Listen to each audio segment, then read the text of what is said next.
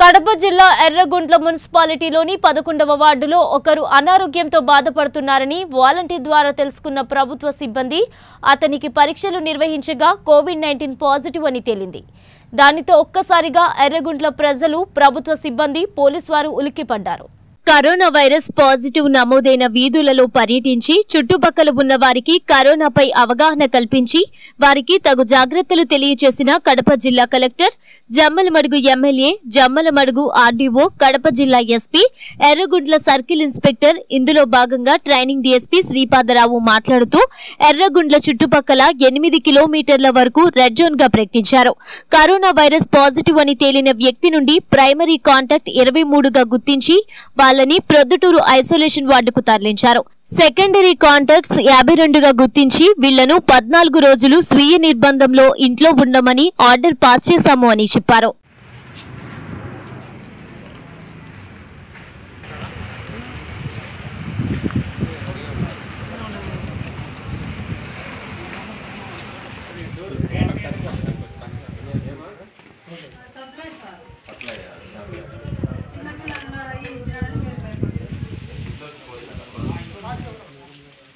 ఒక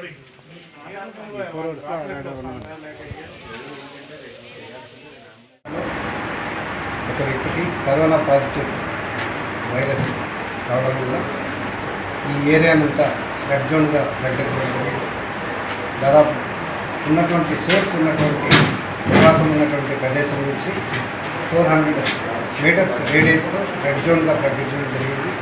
ఈ రెడ్ జోన్లో ఉన్నటువంటి ఈ నివాసస్తులందరూ కూడా ఎవరు కూడా తమ యొక్క ఇంటి నుంచి బయటకు రాకోకుండా వాళ్ళు హౌస్ క్వారంటైన్గా ఇంట్లోనే ఉండే విధంగా ఆ, కట్టుదిట్టంగా ఏర్పాటు చేయడం జరిగింది. ప్రతి ఒక్క వీధిలో ఎక్కడైతే జనావాసాలు రావడానికి అవకాశాలు ఉన్నాయో అటువంటి ఆ రోడ్లన్నింటినీ కూడా మనం బ్యారికేడ్స్తో కట్టెలు చేయడం జరిగింది.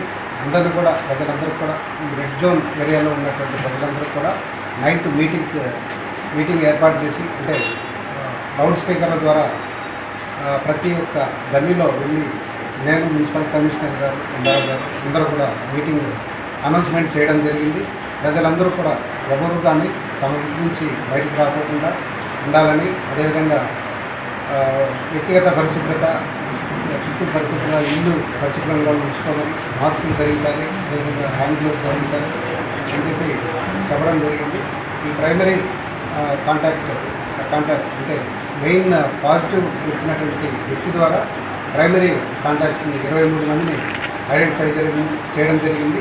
ఆ ఇరవై ఇరవై మందిని కూడా ఆ, ప్రొద్దుటూరు ఐసోలేషన్ వార్డుకి పంపించడం జరిగింది. అదేవిధంగా సెకండరీ కాంటాక్ట్స్ ఎవరైతే ప్రైమరీ కాంటాక్ట్స్లో క్లోజ్ రిలేటివ్స్ కావచ్చు వాళ్ళందరినీ కూడా దాదాపు యాభై రెండు మందిని సెకండరీ కాంటాక్ట్గా ఐడెంటిఫై చేయడం జరిగింది. వాళ్ళందరినీ కూడా హౌస్ క్వారంటైన్గా ఉండమని చెప్పి వాళ్ళకి నోటీసులు కూడా సర్వ్ చేయడం